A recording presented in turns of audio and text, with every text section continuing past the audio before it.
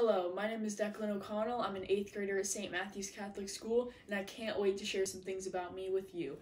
First up, I love to play basketball. I, ever since the third grade when I started playing, it has been my favorite sport. And playing on club and school teams, I've gained many friends and life lessons that I still have to this day. The second thing that I like to talk about is my computer. I'm built it over quarantine and have used it for many things such as distance learning and also to play video games with my friends. My parents don't like when I play too much, but it has been a way for me to connect with my friends over the lockdown.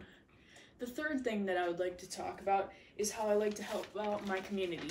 I like to help out my school community by altar serving and being a class representative.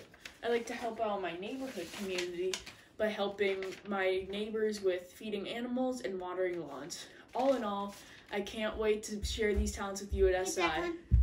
Hey, Declan. And my big brother. Thanks for watching.